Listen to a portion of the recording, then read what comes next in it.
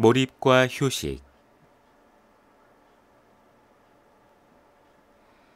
미국 스탠퍼드대 연구에 따르면 베를린 음대 바이올린 전공자 가운데 상위권의 연습 시간은 하루 평균 4시간으로 비슷했다.